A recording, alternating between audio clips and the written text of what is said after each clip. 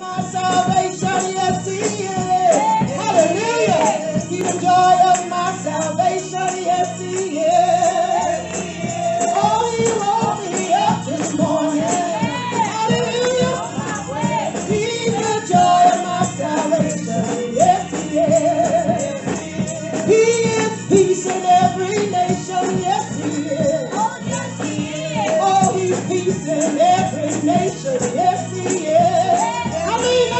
truth.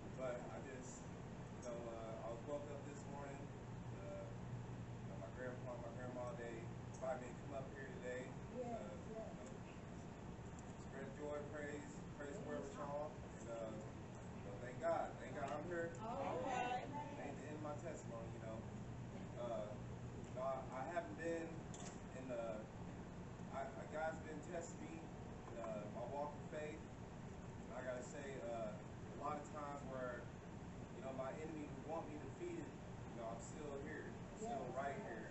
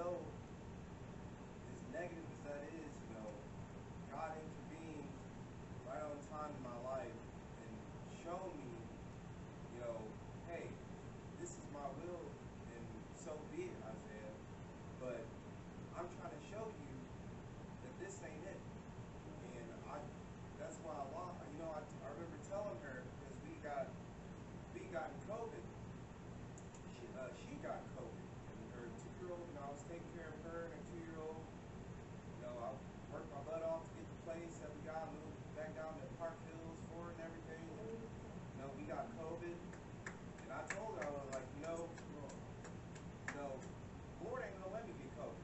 And she told me, Lord, Lord ain't, Lord don't make you convinced. I said, no, not at all.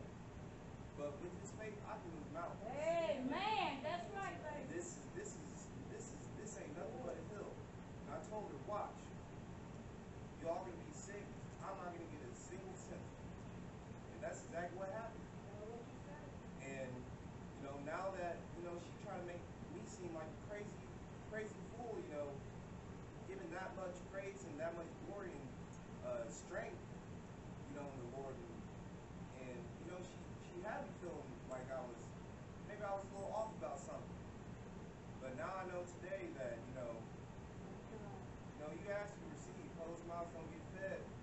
And uh, you got you got to pray. If you want to answer, you got to pray. Because Lord's will ain't changed a billion years, you know.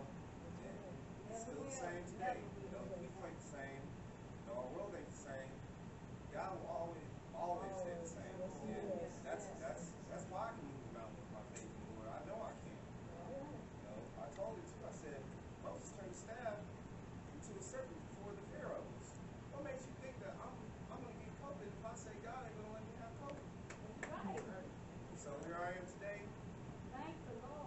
three.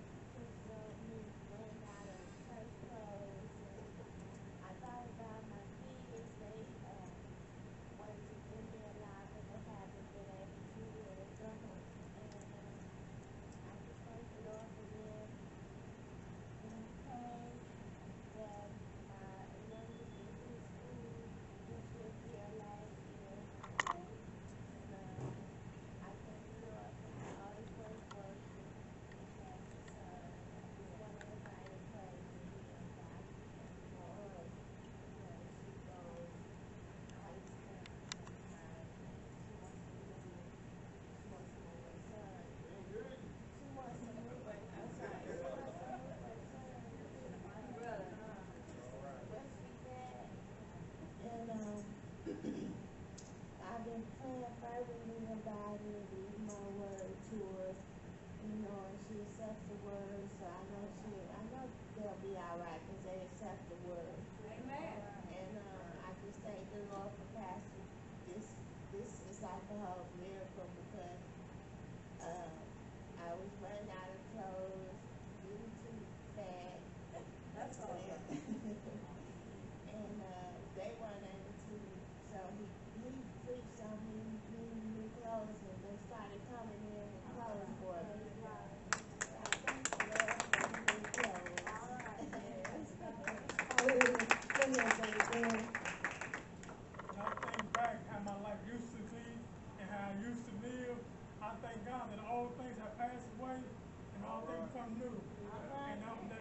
contract on June 22nd, and everything has been uh, different since then.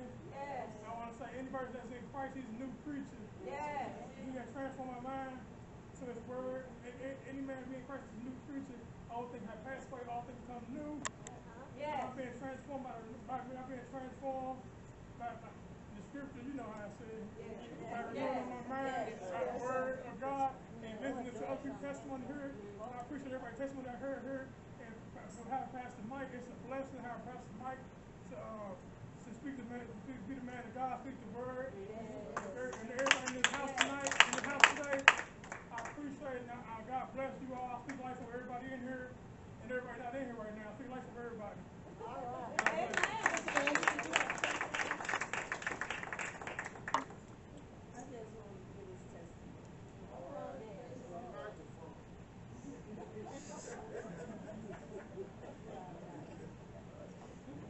You don't let what us in testify, Mike. Well, I just want to give, give his testimony because sometimes I think my testimony don't mean nothing because y'all know the word and got it. right. But, uh, for three weeks, I couldn't sleep. And, uh, the enemy was saying, kill yourself. But I know I got a purpose on this. Yes, you do. Oh, yeah. Yes, you do. Five people I know that died. You know, they've been bound by drugs and stuff. Yes. And I was on the news on Wednesday, that's one of the days. Nineteen-year-old boy had got killed. And I'm like, God, wow, I heard this ain't my area. You know, but, um, I used to be up in that area, Yeah. getting high, smoking crack. And, um, Michael uh, Cornell stopped by my house. And, um, I, s- uh, he called, Brother Dave called Nolan. He said, we'll stop by there, um, and I'm like, what they come over here for? You know, cause I don't get high like that no more. But, um, he didn't come there to get high. And I say, hey, brother, um, Michael, praise the Lord, come on in. And he was giving me his testimony, say, you know, it's time to get God.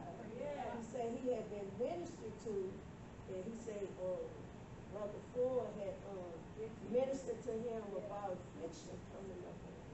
You know, I don't wanna be like that, I don't know about you, I don't want Christianity, religion, I just want Jesus. All right. I know that I have a purpose on Yes, you this, do. on this earth, and it's to do the will of God, and the enemy's just fighting me, you know, but I, I, I say, I don't want nothing hindering me, if I have said anything about anybody or offended anybody, forgive me, cause I want my slate clear, and I wanna know I'm going to heaven, my soul will rest in Jesus Christ. But what I'm saying is for sisters and brothers in here, it's souls out there dying, Oh, yeah. going to hell, and we put our attention on ourselves. It's all about self. Now it's all about what God wants us to do. Get out here on these corners, highways, do something for the Lord. Because that's what I'm at. If you want to come to my house and pray all night, I used to do that. Yes, we did. Yes, and fast. Come on, I told Brother Michael, come on, you want to pray all night? Come on, I used to get high all night. Yes. I told God my habit is gonna be for Jesus. All right. I used, to, I used to stay up three and four days getting high. I want to stay up three and four days, praise the Lord. Yeah. Doing the work for the Lord. So thanks to God, if you ready, I go out there with you. If you're scared, we two or three together, we can do amazing things. Yeah, yeah. Pray, pray my strength in the Lord. Hallelujah. Come on, let's give the Lord a hand praise. Hallelujah. Glory to God. That is really the, the, the, the testimony right now. We're going to let Brother Jess testify. We're going to move on. But that's it. God is trying to stir us up and get our burden out there and off of ourselves. Hallelujah. Brother Jeff, go ahead. Praise the Lord. I had a, an incident, I was on the machine, I got thrown off in a bank, probably about eight feet to iron, probably about twelve feet. Not on my back, but on close to my head area.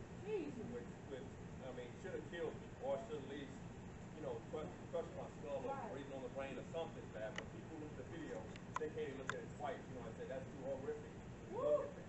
And when I went back and I stood in the spot where I was at, where I landed, I was like, I can't even, I wouldn't even fathom trying to jump that far. You know, I would try to jump, jump that far, and I was like, God, when I when I tried to jump out the machine before I went over the embankment, but I called on Jesus.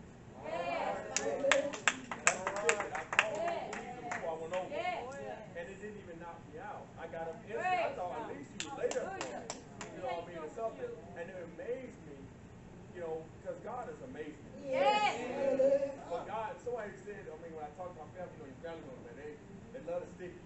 God trying to get your attention. I'm like, man, that dude at the hospital. You can already put like condemnation on me. I'm like, what are you trying to tell me? I ain't living in sin. I don't have no, you know what I mean? I don't have nothing I can look at and say this is a problem. But I knew, uh, but it did wake me. I mean, for him say, the person saying it did wake me up and say, you know, it's not God trying to get my attention. It's trying to get my attention, trying to show me the devil is real Yes. and he's after his saints. Yes. He knows you got a word or something to do for God.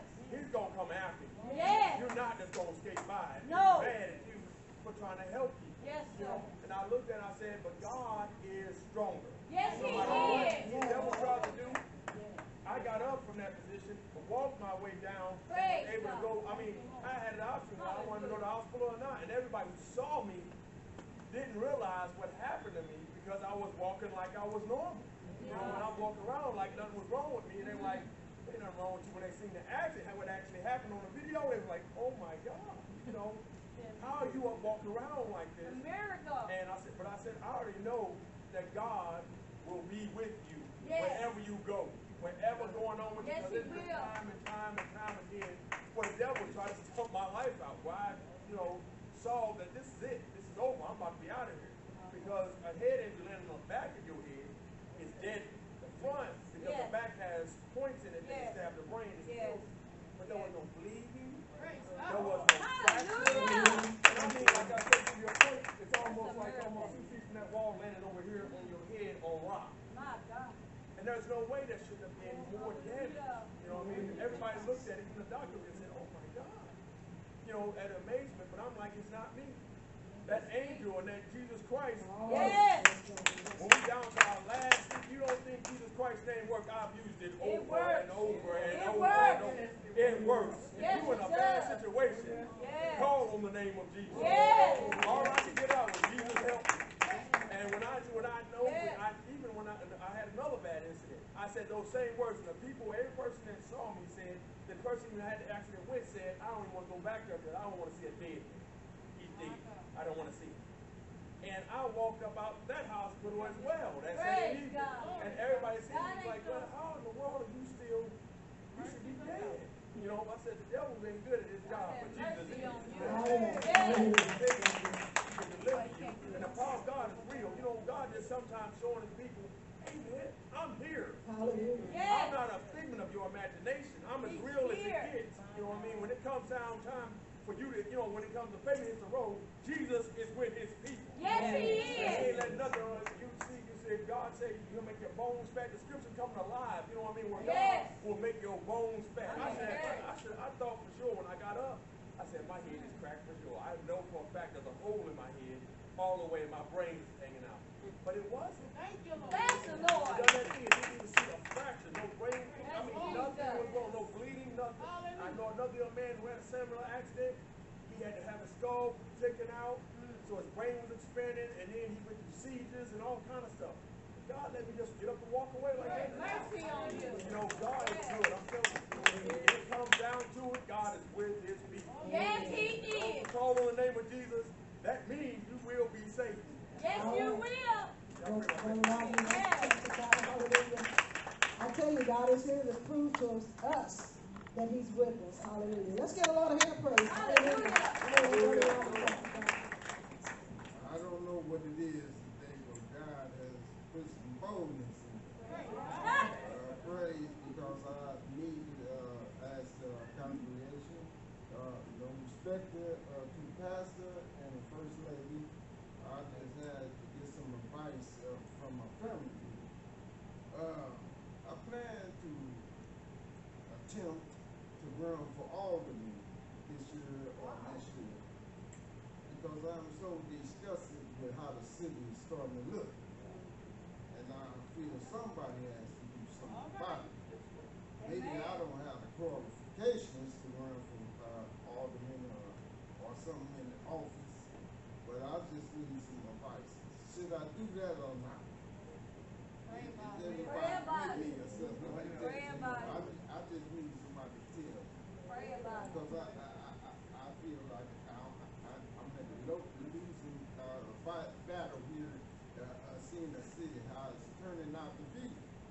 today, and I'm using some box that's, that's sitting around and not being able to do things. Pray about it. Let's go to Lord Mary Kay. Jesus, Jesus, Jesus. Jesus, Jesus, Jesus. Jesus, Jesus, Jesus. Jesus, Jesus, Jesus. Come on and stand on your feet. Jesus, Jesus, Jesus. Jesus, Jesus, Jesus. Jesus, Jesus, Jesus. Jesus, Jesus. Can you call on him for a moment? Jesus, Jesus, Jesus. Jesus, Jesus, Jesus. Jesus, Jesus, Jesus. Jesus. Are you ready to hear the word this morning? Hallelujah. Savior, Savior, Savior. Savior, Savior, Savior. Savior, Savior, Savior. Jesus. Let's say it one more time as our pastor comes. Jesus, Jesus, Jesus. Jesus, Jesus, Jesus. Jesus, Jesus, Jesus. Jesus, Jesus. That's the final word. Put your hands together and let's receive our pastor this morning. Thank you, Hallelujah. Amen. Let's give the Lord another praise for Jesus. Amen. We certainly thank the Lord for the service thus far. Amen. All the prayer, all the praises, all the testimonies. Surely God is good to Israel. Amen. The devil wants us to forget how good God is. But God is a good God. Yes, He is. Amen. Yes, He is. We want to, talk to Him for a minute and commit the furtherance of his service to His hands. Father, in Jesus' name, we bow our heads and bow our hearts to you on today. Thank you for your grace and for your spirit. Lord, we know it's a little different on today, but our eyes are on you. Lord, our hearts are reaching toward you. We thank you, Lord, for what you're doing in the lives of your people. How so many's had a testimony. Thank you bringing Isaiah here in the midst today. Bless him in his life. Lord, shine on him by the grace of God, by the Holy Ghost. Move for all those that's testifying. Brother Rodney, Lord, give him wisdom, lead him, guide him. Lord, what your will is for his life. Lord, your will be done, not our will. Lord, we ask you to give him that wisdom of God, what to do. Lord, we pray for all the needs. Lord, we can't do anything without you. Lord, we're mindful of our sick on the day, those that's battling in their bodies. We ask you, Lord, to deliver them, break these yokes, these demons of sickness and disease. Brother Morris, Lord, thank you for his health, his strength, Sister Connie. Continue to heal and deliver and break their yokes. Mom and Pop Smith and Pop Henderson, Brother Akon, Lord, Brother Maddox down in, Lord, where he's at, Georgia, Lord, Brother Altman, Pastor Fuller up in Decatur, Lord, you see all the needs that we've been holding up in prayer. We ask you to heal, deliver Sister Tawanda, Lord, break every yoke off her body, give her a full recovery, restore health and strength unto her. Sister Triplet, Lord, help her in her spirit, help her in her faith, help her in her mind, Lord, in the name of Jesus. We pray for all our needs. Lord, touch Brother Turl. Lord, just turning, Lord, 89 years old. Lord, touch him and bless and strengthen him. In the name of Jesus, his wife as well. Lord, we pray for all your people and all the need. In Jesus' name, amen. Praise the Lord as you see it. Amen. Thank God. With, we appreciate you being in the house of the Lord. Good to have my brother nephew and sister Shantae in the service. That was a shock when I came in the door.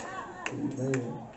I got out of the car and said, I know that black car from somewhere. God doing something. I just couldn't get it together. And I walked in the door and I figured it out.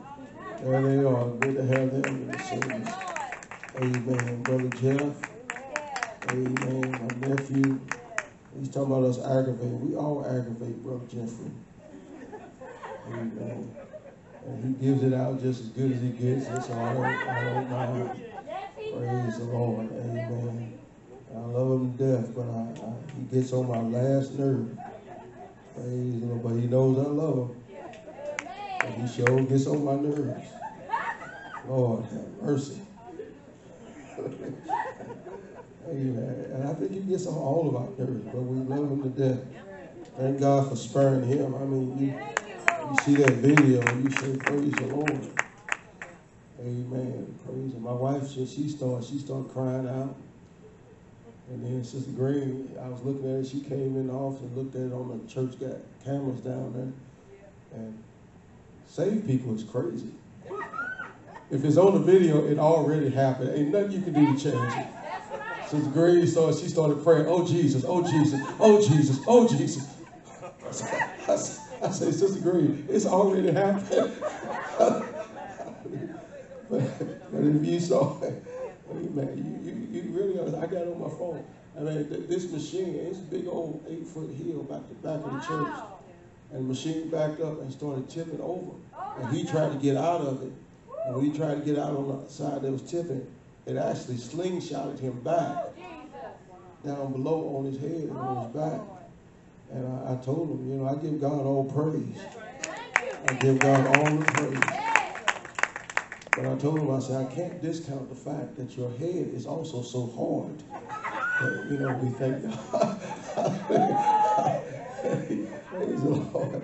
Amen. I got family just like y'all got family. Praise the Lord. You just got to know, Brother Jeffrey. It's a, it's a whole other side. Bless us, Lord. Amen. He's been a big blessing to me. Praise the Lord. Amen. Good to see Sister Londa and her grandson. She told me said she'll never take strength for granted again. That devil jumped on her and she's been going through for about a month, ain't it? Or more. Amen. But thank God for putting strength in us, bringing us honor where we're. Amen. God's going to get us through these hard times. Amen. I tell you, the Holy Ghost is real, and God is, is testifying to me. Don't walk by what you see. Amen. We don't walk by sight, we walk by faith. Amen. God's going to get us out of all these hard trials. Amen. You just got to get through the other side with your faith in time. Amen. Nevertheless, when the Son of Man comes, shall he find faith on the earth? And we're in an all-out attack on faith. Amen. But I'm holding on. I said, I'm holding on. Anybody holding on? The Bible says holding faith and a good conscience. You got to hold on to faith. Because the devil wants you to uh, cast it away. We're going to talk to you a little bit close to that, not exactly. But we always want to remind you every Sunday, if the Lord uh, say the same, we're praying. But if the Lord say the same, we will not be in service here on August 14th. That's Sunday, August 14th. The church here will be closed. And we don't take that lightly. We want to have these doors open, but there's really just no way. Lord's will, we're planning a trip to uh, Brother Blues Church, August the 12th and 13th, and we won't be coming back to the morning of the 14th. And I thought about leaving Saturday night. I thought about not going myself. My wife said, you can't not go. Amen. But uh, we, we want to have the doors open, but I just don't see a way. Amen. And we prayed about it. We looked at the dates, and that was really the best date. Yes. So uh, y'all get the word out. Let people know we will not be here on August the 14th. That Sunday, and we don't want people to show up uh, disappointed. We'll get a sign out there. Yes. But uh, I believe the Lord uh, gonna bless us on this trip. He is. Amen. We're going. Um, since Brother Blues just from the old school evangelist, he's a he's a evangelist pastor. Brother Wills was a pastor evangelist, but Brother Blue is an evangelist pastor, and he still got that fire. Praise the Lord. And so we want to go and amen, get our fire built up. Praise the Lord. So if anybody's got a mind, Lord's will to go, we got a sheet back there for the bus. See Brother Hunt. Sister Green is also one of our drivers for the trip. Brother Hunt is the main driver. He wants everybody to see him. So uh, if you want to ride the bus to uh, Joplin, it is, Neosho is just right outside Joplin. Uh, so see Brother Hunt, if you make a reservation and you want to ride the bus, don't talk to him until you made your reservation. I say this in the country, we don't need nobody going by faith. You got 32 cents in your pocket, you just believe in God. Believe God at home. Praise the Lord. But if you're going on a trip, have some money. Somebody say amen. Or have somebody that's taking care of you that got some money. Praise the Lord. But don't don't go on faith and well, when I get there, y'all just leave me. I'll sleep in the van. You know, no, we, we ain't doing that. Praise the Lord. Amen. So if you want to go, amen, make plans and uh, call the hotel and reserve a room.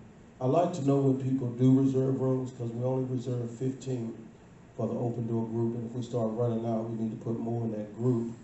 So uh, be praying about that. Praise the Lord. Amen. We want to go into the word on today. Amen. Thank God Sister Hunter. We'll have to get her back up singing. Praise the Lord. Sister Hunter. Yes, sir. Amen. Hide, hide that mask. Amen. We need get her back up singing. She's been too quiet this last year. Amen. I don't know what's going on. I've been telling her about herself. Get up. Amen. Let's go to uh, Ephesians, the third chapter. And we're really uh, praying for all these people that's going through right now. A lot of people going through. Amen. I tell you about the Lord is faithful. Y'all believe this? The Lord is faithful to his word. gonna do what he said. Amen. Let's read here in Ephesians 3, verse 11 and 12. According to the eternal purpose which he purposed in Christ Jesus our Lord, in whom we have boldness and access with confidence by faith in him. Let me read verse 13. Wherefore I desire that you faint not at my tribulations for you, which is your glory. Go over a few pages to Philippians 1. Philippians is right after uh, Ephesians. And we want this first chapter of Philippians. This, just this, um, verse 12 through 14. But I would ye should understand, brethren, that the things which happened unto me have fallen out rather unto the furtherance of the gospel, so that my bonds in Christ are manifest in all the palace and in all other places, and many of the brethren in the Lord, waxing confident in my bonds, are much more bold to speak the word without fear. Let's go over to Hebrews, the 10th chapter.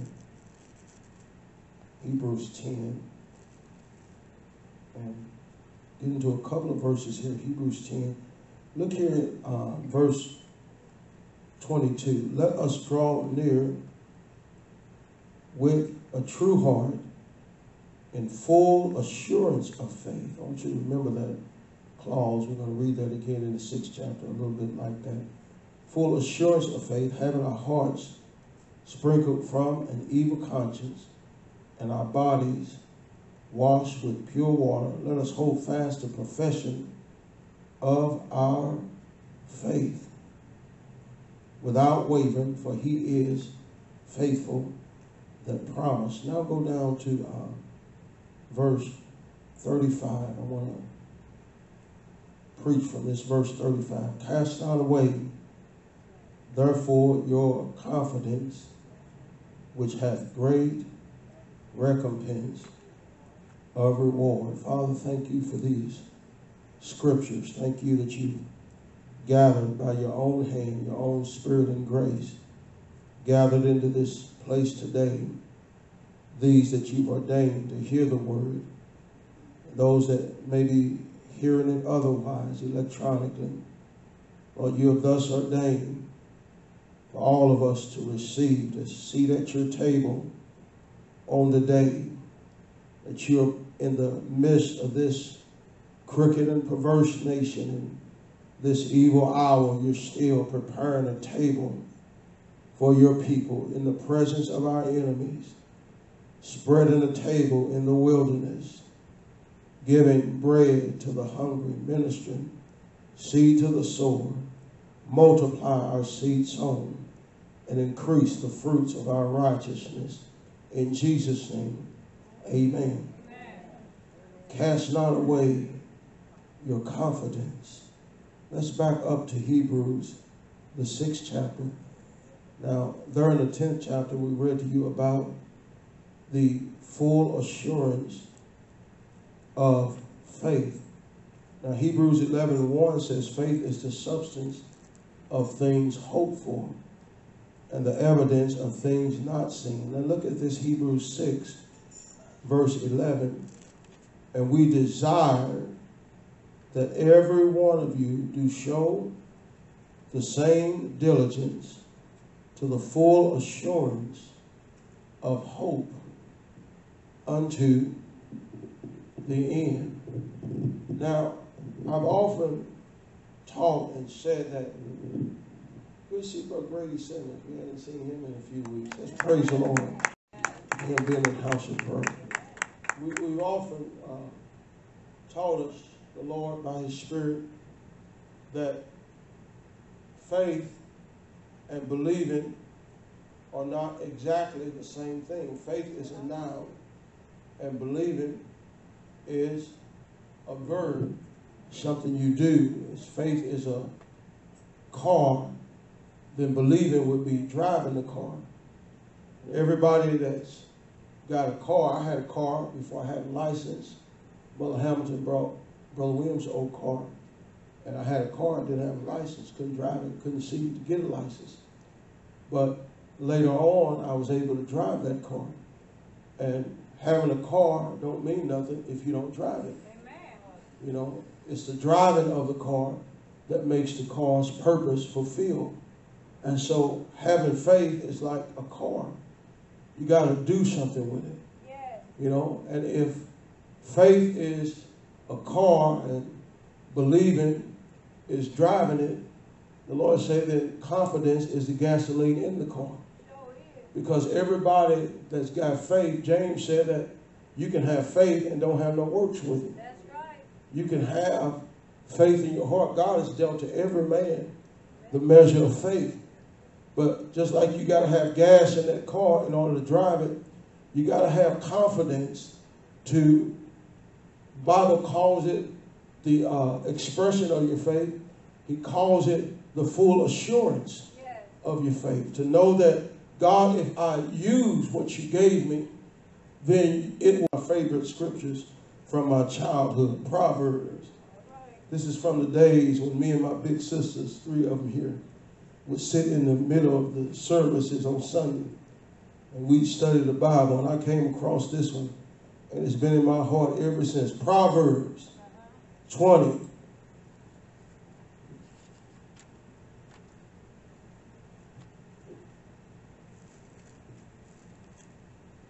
Devil wants you to think what you got is worthless because it ain't been working for you. It's been working for you. You still here, ain't you?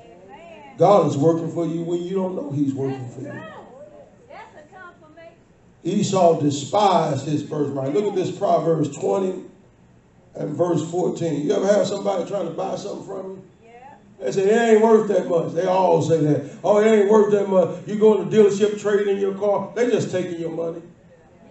They'll give you nothing. They say, oh, we're giving you $3,000. You know that coin ain't worth nothing but $58.26. They're going to give you $3,000. You know what the other $2,000? They're going to tack it on to the price of the car you buying. They ain't giving you nothing.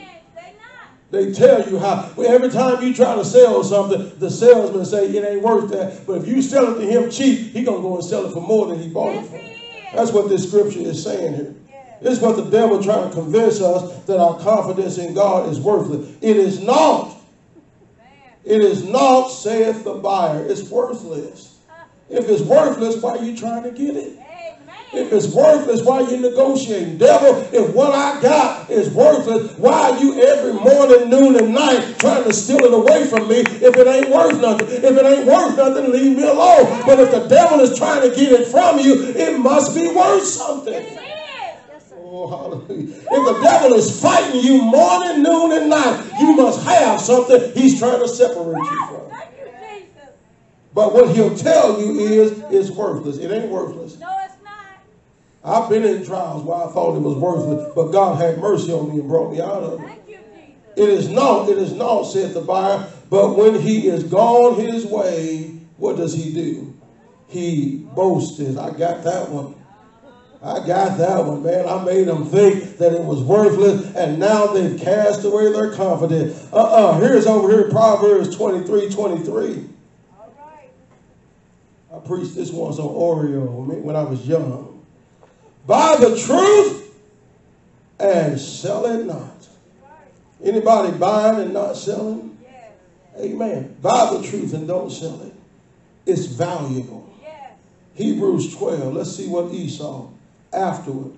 See, when the devil leaves you and he's got your confidence, then he rejoices. He does.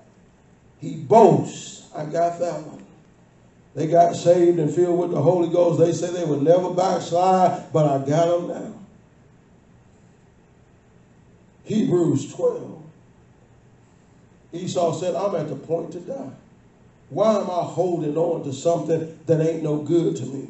But Jacob knew his value, didn't he? Jacob knew it was valuable.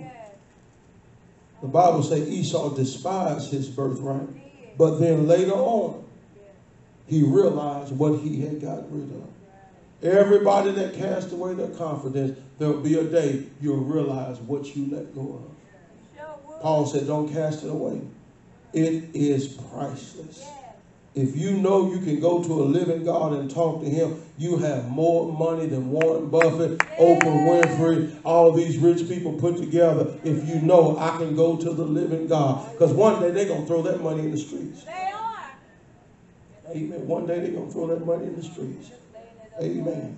The money that the church got, Brother Nephew will tell you, I say, let's spend it. Don't let's let it sit in the bank. Let's buy something we can use. That's right. Amen. One day they're going to throw money in the streets. What you got is more valuable than money. Over here to Hebrews 12, verse 17. What happened to Esau? He was at the point to die. He thought he wasn't going to die. He was just tired. He was dead tired, but it wasn't worth his birthright. Amen. Verse 16. Lest there be, let me start at verse 15. Looking diligently, lest any man run out of grace, is what they're saying. Fail of the grace of God, lest any root of bitterness springing up trouble you, and thereby many be defiled, lest there be any fornicator or profane person. What does profane mean? Profane don't mean you're just doing a lot of cursing. That's part of profanity. Profane means you have no appreciation for that which is holy. That's what profane means. Esau despised his birthright, or profane person as Esau, who for one morsel of meat sold his birthright. He cast away his confidence. But then what happened in verse 17?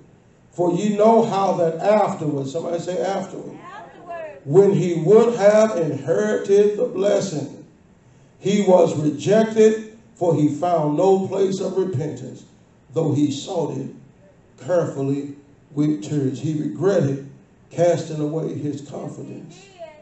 Over here to First John, the third chapter. You got a reason to keep praying. No, no. You got a reason to stay in church. Yes. You got a reason to live right. Yes. Even though sometimes it don't look right. Sometimes it look like evil people are prospering more than good people. Yes. Sometimes it look like you do well and do right and you suffer for it. Anybody ever do the right thing and got bit for it? Anybody try to help somebody, amen, and they did wrong to you? Yes. Anybody ever trust somebody and they stab you in the back? Yes. Devil wants you to get bitter. I ain't gonna help nobody. I ain't gonna trust nobody. Uh-uh, don't get bitter. Just say, Lord, thank you that I had it to give. You lend somebody a hundred dollars, they don't pay you back. Amen. Don't fret over it. Just let them have it. Amen. I ain't fighting nobody over money. Praise the Lord. People get killed over twenty-five dollars. People get in gunfight. You seen these? I've seen people on the news that shot fast food workers because they didn't get their order right. People are going crazy. You got to let people have stuff. You got your peace of God, your peace of mind is worth more than any little bit of money or cheeseburger or somebody disrespecting you. It's people all over St. Louis shooting people because they didn't look at them right, disrespecting me. Gang members right out here on this parking lot. People are crazy right now. I'd rather have my peace. I'd let you take it if you want it. Take it if you want. Amen. If you don't want to pay me back, fine, have it. Amen. I got peace with God. I know. I'm gonna tell you something. When you live for God, ain't nothing nobody can do to you to make you less. He'll always bring you back out on the top. You may go down for a little bit, but the Lord will lift you right back up on top. Ain't nothing the devil can do to diminish you because you have a birthright. You have a heritage. Yes, I do. You have a father you can go to. First John, the third chapter. Can I have a few more minutes? God ain't gonna let you come out with the short end of the stick. Let them have it. Is that what happened with Abraham and Lot? Yes. He finna bless us. Abraham and Lot's servants were fighting because the land was not able to bear both of them. Too much sheep, too much. So they got in the fight, and they and, and that man they said, Lot said, man, we, we can't we can't live like this no more. Abraham said, well, look here, Lot, I'll tell you what I'm gonna do. We're brethren. We ain't gonna fight about this. Oh, you gotta have the right spirit. I'm asking Lord created me a clean heart and renewed me a right spirit. Abraham said, We be brother, we ain't gonna fight. Abraham said, Lot, take whichever part. Look all around you, whichever part you want. Yes. Oh, hallelujah, yes. When God's blessings on your life, you always gonna come out the head and not the tail. You always gonna be above and not beneath, and you're fighting for scraps, and God got a whole buffet over here for you. Let them have that little stuff. Walk away with your peace and your confidence in God intact. So Abraham said, Lot, whatever you want, take whichever. And the Bible says Lot lifted his eyes and looked over there towards Sodom. Oh, it's so beautiful over there. Amen. Like Isaiah was saying, all ain't gold that glitters. Devil holds up in front of you. Uh-uh, you want the will of God for your life. And if God say take this little bit, amen, God can take that little bit and put his blessing on it, and you'll come out way ahead of somebody who look. That's what he did. Lot took what looked like the best and turned it into a curse. Man, if you bought real estate in Sodom, you just was, I don't want to say out of luck, because ain't no luck, but you, you came out on a short end. So Lot took Sodom because Sodom looked better. And he left Abraham the part that didn't look as good. And then after Abraham and Lot separated, then God came back to Abraham and said, lift up your eyes. Say, look around you to the north, south, east, and west. He said, everything you see, I'm going to give it to you. Amen. Lock down there in Lot, lot down there in Sodom. Amen. And the LGBTQ started marching down Main Street. He had to shut his window, had to keep his daughters inside. Oh my God, what have I done? And then God rained down fire and brimstone. What did he have then? Nothing. Nothing. But he took what looked like the best. Thank.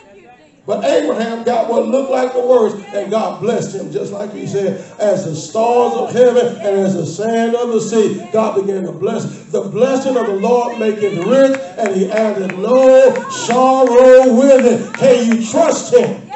Can you believe God that no matter what I got to go through, I may be low right now, but it's going to work out for my good. I'm not casting away my confidence. I'm not going to be separated from my God because of what I'm going through. Because God can take the least and make it the most. Devil say they don't respect you. You the least. That's all right. Be the least. David was the least in his father's house. But a prophet came by.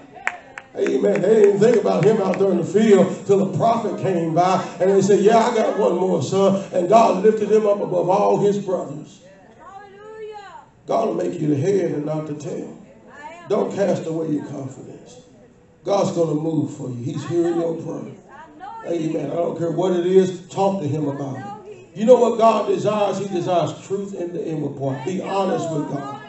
People don't know how to talk to God. Amen. I'll tell you, don't come to God trying to pretend you something you ain't. Talk to God. If you got a problem, say, God, I like this. I like smoking these cigarettes, but I know they're going to kill me. People trying to act like, oh, God, I hate cigarettes. No, you don't. Why you still buying them at $7 a pack? Talk to God like, God, I hate these things. God, I want to be free from these things. And God, if you'll help me, amen. But the devil wants you to do is cast away your confidence and don't pray no more because God knows you like what you're doing. Uh-uh, I'm going to pray because I know I like what I'm doing, but what I'm doing is killing me. So I'm going right back to God because there's only one Savior. Ain't nothing else going to help me but Jesus. So I'm not casting away my confidence. I'm going right back to him. If y'all give me a little time, I'm going to tell you about condemnation. Condemnation wants to separate you from God and say, don't talk to him. Amen. You're a sinner. You this and you're that. Maybe I am, but I'm going to the one that can help me. I'm going right back to Jesus. I ain't separating myself from it. People stop coming to church because you mad at somebody in the church. I don't care about you don't stop going to Walmart. Huh? You don't stop going to J.C. Penney. You don't stop going to Amazon.com. Amen. Even though they did treat you dirty, you go right back. I'm gonna stop coming to the house of God? I'm gonna cast away my confidence? Amen. When I know this is where my help is. I cannot be separated. I'm not casting this away. I'm not selling it. Amen. Maybe it looks like it's worthless today, but I'm not selling my birthright. Because it's going to be worth something one day. One day when I cash this in, it's going to be worth more than a million dollars. One day when I get up to heaven and I still got faith in my heart and I still been living right, I'm going to trade all my sorrow, all my heartache, all my heartbreak, and I'm going to give it to Jesus. And he said, here's a crown of life. Well done, thou good and faithful servant. Don't cast away your confidence. Come right back to God. Amen. Just to give the devil a black eye, come to church. Get in prayer. Read your Bible just to defeat the devil. First John 3. My little children, let us not word in word. This is verse 18. Neither in tongue, but indeed in deed and in truth. And hereby we know that we are of the truth. And shall do what to our heart? Assure. Hebrews 6 called it the full assurance of faith. Hebrews 10 called it the full assurance of hope. He said you can put confidence back in your heart toward God. Assure our hearts before him. Notice this verse 20. Oh, I know you've been there because I've been there. Anybody ever done something so bad you don't even feel like God won't be bothered with you? Huh? Anybody ever messed up so bad? Devil tell you, ain't no sense in praying now. God ain't trying to hear you. Ain't no sense in going up. You walk up in that church, it's going to fall down. church ain't going to fall down. He, he receives sinners. He's waiting for you. His blood, amen, is, is stronger than any sin you got. I don't care if you murdered somebody. His blood is stronger than anything you got. Come back to him. Have confidence that you can talk to him just like Brother Turtle. He don't hear Brother Turtle no more than he hear you. He hears you. Amen. He's waiting. He don't hear my prayer any more than he hears you. He wants to hear your prayer. He is eager for you to come there. What he wants is for you to be honest with him. Don't try to deceive him. Oh, Heavenly Father. How was that, Brother Michael Pray? Let me listen to the tape again. Uh-uh. You ain't got to sound like me. You better sound like you. You better talk to him like you. That's why we won't get nowhere with God. We're trying to impress him. You can't impress him with your word. You got He desires truth in the inward part. Tell him how you're feeling. Confess to him what's going on with you. That's my confidence. That if I come to you and say, God, I'm guilty, he'll say, I ain't to condemn you. These other folks here throwing stones at you because they caught you in adultery, but I ain't going to condemn you. He lifted up his eyes, looked at that woman, they said, they said, Lord, this one was taken in adultery in the very act. Moses said, stone her, but what do you say? They thought they had him try. They didn't have him try because there's always an answer from God. That's why I said, don't let the devil get you in an A or B scenario. There's got to be this or that. Uh-uh. God's got an answer that the devil ain't even thought about. God's got wisdom. Oh, hallelujah. I wanted to preach on this this morning. Amen. But he answers hard questions. With him is dissolving of doubt. Ain't a sentence too hard that God ain't got an answer for. The devil think he got you backed into a corner, but God's got a way out. If he got to open the Red Sea, he's got a way made already. You ain't thought about it. Devil say you got to do this or that. Uh-uh, I'm going to stand still until God tell me what to do. So what did Jesus do? He stooped down with his finger. Now they thought he had to either say adultery ain't nothing, leave it alone, or he had to say stone. A or B, you got to do one or the other. So Jesus just stooped down. Yes. What are you saying, Pastor? Sometimes you got to know when to shut up. That's true. Sometimes our tongues get us into trouble. Sometimes we act like we know more than we know. You don't, you ain't that smart. Sometimes a devil been the devil thinking while you sleeping how to trip you up, and you need wisdom from God. That's why you got to pray every day. Lead us not into temptation, deliver us from evil. Because the devil's thinking while while you on vacation, the devil thinking about how to trip you up. You need some wisdom from God. And they were always trying to catch Jesus in his word. And man, it looked like they had him right now. So he stooped down with his finger. Y'all read John 8? And he wrote on the ground as though he heard them not. I ain't trying to hear that noise. I ain't trying to hear you talk to me about one of my children. Amen. Maybe they were in sin, but I ain't trying to hear that stoning. Amen. This is a new law. It's a new sheriff in town, and I'm bringing in a new covenant, and we ain't killing people. James and John say, Lord, the Samaritans don't want to receive us. You want us to call down fire from heaven? He said, Y'all don't know what kind of spirit you're of. I didn't come to destroy men's lives. I come to save men's lives. He ain't out to stone nobody. Sir. Oh, oh we need to find out what kind of Jesus we're serving. So he said, I ain't trying to hear that noise. And he stooped down and he just rolled on the ground with his finger. The Bible says, though he heard them not. And the Bible says he lifted up himself. God's always got an answer you ain't thought of. Oh. Don't let the devil put you in no corner, say it's A and B. Uh-uh, I'm waiting on God. Jesus lifted up himself said, let he that is without sin cast the first stone. And he just went back down. He didn't even look to see what the result. When God give a word, you ain't got to hang around to see the result. It's already done. It's like pushing the popcorn button on a microwave. It's already done. Yes, it is. he gave that word and he didn't even look to see what was going on. He just started writing again. Thank you, Jesus. And finally, he lived, the Bible said they started going from the eldest to the least. They start dropping them stones. Oh my God, he that is without sin. Oh Lord, I'm the one that was with her. I better get out of here. Amen. The one said, I was with her last week. I better leave. The other one said, I was a thief. Everybody began to leave because they were convicted by their own conscience. He didn't condemn them, they condemned themselves. Judge not that you be not judged. For what judgment you meet, it shall be mentioned to you again. Be careful how you condemn other people. Amen. So Jesus lifted up his eyes. And said, Woman, where are those? Hallelujah. Have no man condemned thee? She said, No man, Lord. Oh, I love Jesus. If you don't love Jesus, there's something wrong with you. You need to check your heart. Amen. Make sure you still got one beating in your chest. Because how can you help but love her? He said, Neither do I condemn thee.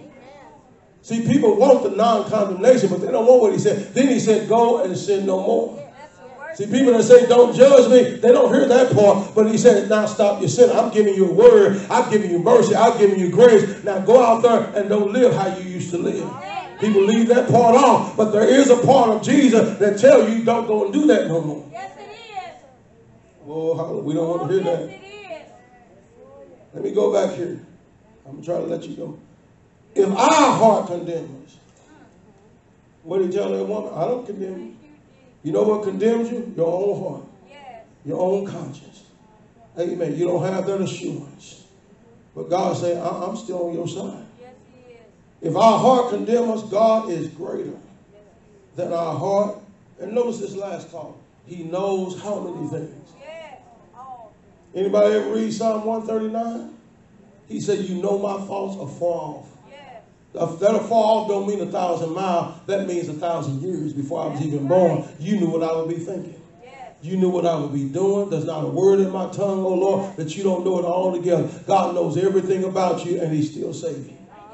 And He still died for you, and He still loved you, and He still gave you the Holy Ghost, and He still gave you grace to be in the house of God on the day. Even though He knows that He knows stuff about you that your closest friend don't know. He knows stuff that your husband or your wife don't know. He knows your dirty underwear. He knows all your secret, and He says, "Still, I love you anyway." You can't let people know about your bad stuff. They won't love you no more. But he said, I know everything about you, and still I love you. Y'all not reading this Bible. Y'all don't believe this Bible. Y'all believe something else. But he said, God is greater than our heart, and he knows all things. Yes, he does. Beloved, not our God, if our heart condemns us. Y'all reading this? Yes. If our heart condemn us, God is greater than our heart knoweth all this. Beloved, if our heart condemn us not, then have we what? I know I can go to him. I know I can talk to him. I may not be worthy, but I'm not. See, the Bible says in Romans, there's no condemnation of them who are in Christ Jesus. God don't put condemnation No, on he you. doesn't. God will convict you before you sin. Yes. He'll convict you when you need to repent. But after you repent, he doesn't hold stuff over your head No, like. No, some people do. Stuff you did in 1975, stuff you did in 2010. He ain't trying to hear that noise. He cast your sins behind his back. He don't think about it again. And then Paul said, when I got saved, this is how I keep pressing y'all. He said, I keep forgetting those things which are behind. I ain't gonna try to remember that. Uh, I ain't bringing that up. Devil have you sitting around thinking about what you done. I'm forgetting those things. Yes, T T I N G. I keep forgetting. Every time somebody bring it up, I forget it. Forget you, forgot you, never thought about you. Covered under the blood. That's what we said when we was young. Covered by the blood. If our heart condemn us not, then have we confidence toward God. What does confidence do? It's the gas in your tank. Yes, It makes you express your faith. yes. James said you can have faith and don't do nothing with it. But he said faith without works is what? Dead. Dead being alone. You got to do something with it. You got to use what faith you have. And our primary use of faith is to come to him and talk to him. Don't let condemnation stand in your way. Beloved, if our heart condemn us not, then have we confidence toward God and whatsoever we ask. Is that what Jesus said over there in John? Amen. If you ask anything in my name, what did he say? I will do it. Whatsoever we ask, we receive. What did Jesus say there at Lazarus' tomb? I'm trying to let y'all go. He prayed and bowed his head and said, Father, I thank you that you hear me. Yes. Notice what he said. I know that you hear me I know all he hear me. if God sees every bad thing you do and hears every bad thing you say, then he hears every time you pray. You got to just have confidence to wait on him to answer you. that's it. If our heart condemn us not, then have we confidence in whatsoever we ask, we receive of him because we keep his commandment. When he says, go and sin no more, you have to say, yes, Lord, that's what I'm doing. Even if you make a mistake afterwards. Amen. Lack of confidence keeps you from committing to the word. Yes, But when your confidence is in him and not in yourself, you'll commit to the word. Yes, sir. Amen. That's one person that Devil said, devil said, don't, don't, don't say you're gonna do that. Uh, Don't, don't, don't, don't say God is telling you to go on fast. Don't say you're gonna go on fast because you're gonna break it. Say it anyway. That's. Confidence. That's using your faith. Faith got to say something. Faith is going to speak and say something out of your mouth. It is the expression of your faith. Yes, it is. Paul called it in one place boldness. Thank you, Lord. Get out there and say something. I'm gonna do something for God. Devil say, oh yeah, what, when, where, how? I ain't worried about that. I'm doing something for God. When you don't say nothing, you ain't gonna do nothing. That's true. You know what devil, what David did before he slew Goliath? He told him what I'm gonna do to you. Everybody else back there shaking in the foxhole. David said, uh-uh, is there not a cause? Is there, why, why y'all back here in these foxholes? He stepped out there on that battlefield. Amen. Goliath despised him. This little runt coming out. What you gonna do? He said, I'll tell you what you gonna do. You come to me with sword and spirit, but I come to you in the name of the Lord. And I'm gonna take your head off you, and I'm gonna feed your carcass to the fowls. And I hadn't done nothing, but he's smoking. Yes, he did. We don't want to say nothing. When you go on a job interview, go and say, I'm going to get my job. Oh, we scared to talk. We ain't going to talk because we ain't got no confidence. Amen. When you leave that doctor's office, the last thing you tell him is by his stripes, I am healed. I'm healed. Devil don't want to say nothing. When you ain't got no confidence, you ain't going to say nothing. You know how many times, anybody ever had a bully? I did when I was young. You know how many times you get beat up when you got a bully? You get beat up 20 times. I didn't let nobody bully me. You still getting hurt every day you go to school. But you scared, not Sister Rice. Everybody else was scared. Sister Rice said, Pastor, I wish you would forget my past. I'm, I'm trying, Sister Rice. Sister Rakita, y'all didn't mess with y'all auntie, did you? Ooh, that's the wrong one. Hey, some of us had bullies, and we were scared of them bullies, and then they said, coward dies a thousand times. And they just beat you up and beat you up. But when you finally stand up to your bully, you realize they weren't as strong as you thought they were. But what you were, it wasn't that you were scared to get hurt because you were getting hurt every time you went to school. Every time they put your hand in that toilet, you was hurt. When they shoved you in the locker, you was hurt. When they gave you a wedgie, you was hurt. When they beat you up, you was hurt. You was getting hurt all the time. You just needed some confidence. Oh, hallelujah. Amen.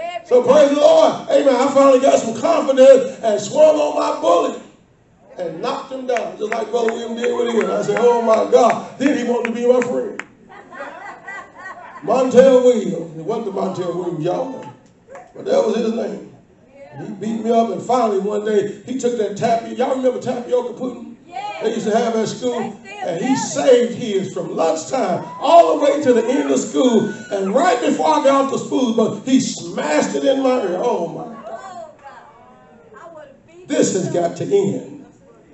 Because I was getting humiliated every day. Amen. Uh, Amen. When I cleaned his clock and he picked himself up off the ground, he wanted to be my friend.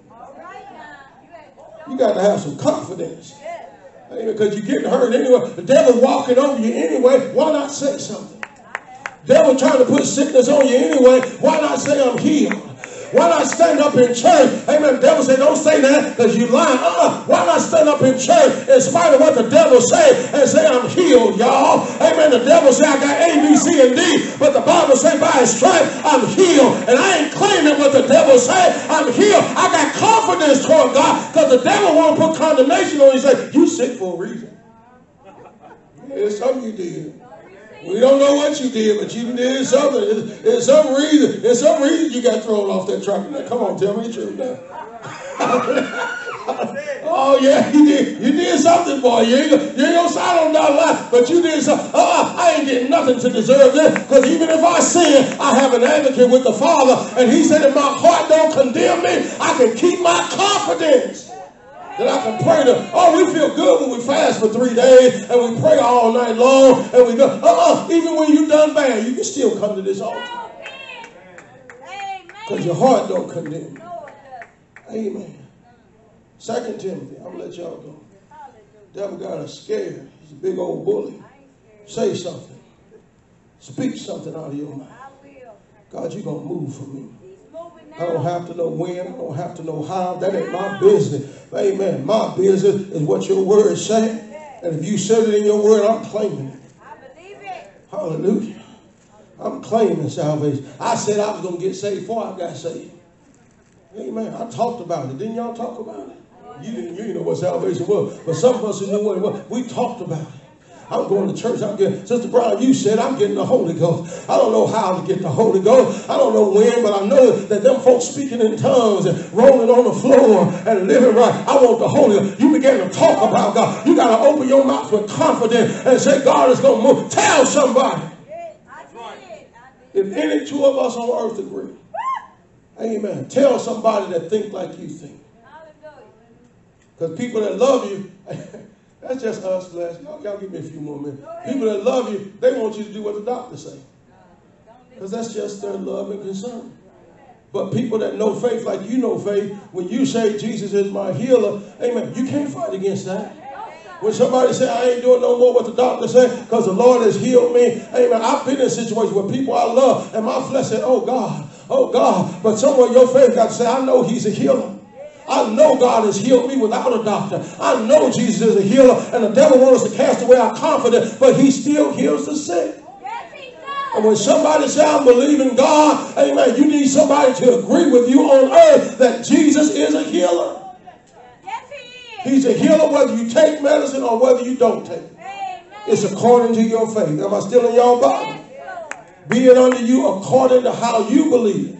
And you need to find somebody who believe like you believe. Some people can't get past medicine and doctor's care. Amen. Well, God bless them. I'm not condemning them. But if your faith has lifted you up, and I ain't talking about hope, I ain't talking about crossed fingers and rabbit's feet. I'm talking about something in your heart saying, I know God has healed me. When you got that kind of faith, find somebody that's got like precious faith to agree with you. And open your mouth and testify. Hallelujah. My brothers and my sisters, they scared. They, they scared for me, but I know you believe like I believe. Amen. I'm healed. Do you believe I'm healed? Child, I know you're healed. I know God is working in your life. I know God. Find somebody to talk to about it. We need to talk about it. Talk about God. Then they that knew the Lord spake often one to another, and a book of remember. God will remember. If he hear you talking about him, he'll remember that he's in here. We don't think we need to remind God. You need to remind God of who he is sometimes. And you do that by talking about him to somebody else. Oh, we don't believe this Bible. Go and read Malachi. The Bible says when they spake often one to another, a book of remembrance was opened. Yes, I do heal the sick. I hadn't, I hadn't been healing nobody in open door in a while. I hope somebody praying and believing God with me. We need to drive this sick devil out of this church. Anybody agree with me? We can drive this sickness demon out of open door. We got too many people in the hospital, amen, that's got a word of God that say by his stripes we're healed, and we have to depend too much on doctor, but he heals without a doctor. Can I get somebody to say amen? Can I get somebody to agree with me that the Lord is our healer? Talk to somebody about it. Hallelujah. Crawl up out of that hole and say with your mouth that God is going to move for me. I ain't got to figure it out. I don't have to know the when, the where, and the how. The devil say, oh yeah, how? That ain't my business. Hey, ask the Lord, Lord, will you at this time? He say, the time ain't your business. Yeah, that's God's business. Amen. Your business is to wait on me till I come. Is that what he said in Acts chapter 1? It ain't none of your business when it's time. We want to know how long, oh Lord. How long ain't my business? My business is He's already done it at the cross. How long it takes to be manifested, that ain't my business, but I'm going to wait on Him till He comes. Let me read this here and let y'all go home. Second Timothy, the first chapter. Don't cast away your confidence. It's going to pay off in the end. It has great recompense or reward. People that prospect for gold say you wouldn't recognize it when you saw it because it don't look like gold all the time. It hasn't been refined. It takes somebody with a trained eye to know what real gold is. Second Timothy 1, 6 and 7. God has put something in you. Wherefore I put thee in remembrance that thou stir up the gift of God which is in thee by the putting on of my hands. God put something in Timothy. Amen. And he said it was in your grandmama and your mama first. And then what he said? Notice this verse 7. For God has not given us the spirit of fear. Notice he didn't say a spirit of fear. He said the spirit of fear. There's one demon specifically designed to put fear in your heart so that you don't say nothing, you don't move forward, you don't try your ministry, you don't get up to testify. Some of you got testimony that you're sitting on that you scared to get up and say something. Amen. Devil said, you don't sound right. Notice how you sound. You sound weird. Get up and talk anyhow. Moses said, I can't talk right. He said, look here, didn't I make your tongue? He has not given you the spirit of fear. No, he hasn't. But what kind of spirit did he give us? Power, He gave us power, love, love, and what kind of mind? A sound mind. You know what an unsound mind? An unsound mind will sit in the dark and imagine all the things that can go wrong no. if you try. But a sound mind say, God, you said it. You, I'm going to do it. Perfect love does what? Cast out fear. That's the spirit that God gave us. Don't cast away your confidence. Praise the Lord for the word today if you receive it. Father, in Jesus' name, we thank you for the confidence you put in our hearts as human beings. You didn't deal to some men the measure of faith. You dealt to every man the measure of faith. Help us to put gas in that tank to know that no matter where we are in our development, we can come to you. Lord, that you'll wash us, you'll take away our sin, you'll break the yokes off our lives, you'll turn around our circumstance, you'll heal our bodies, you'll get us out of troubles, you'll get us out of legal troubles, you'll get us out of health problems, you'll get us out of relationship problems, you'll turn things around, you'll pay our taxes, you'll put food in our refrigerator. Lord, you'll make a way when it seems like there's no way.